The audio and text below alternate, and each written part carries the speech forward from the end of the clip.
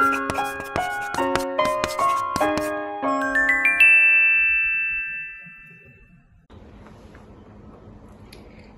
the tall white candlestick crept little Mousey Brown, right to the top, but he couldn't get down.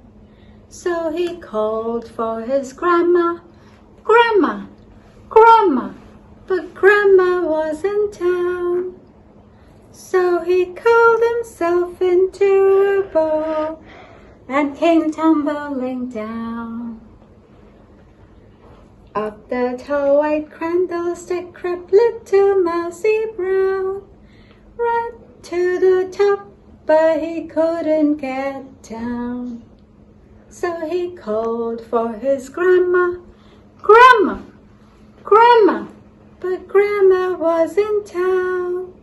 So he curled himself into a ball and came tumbling down.